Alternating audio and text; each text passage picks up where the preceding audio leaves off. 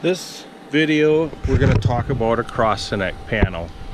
As you can see from our other pedestal, the cables will come up over here and this is where the cross connecting takes place for customers to get them telephone service.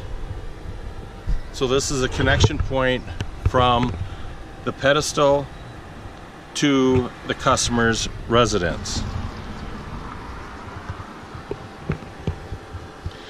Each one of these identification is a cable pair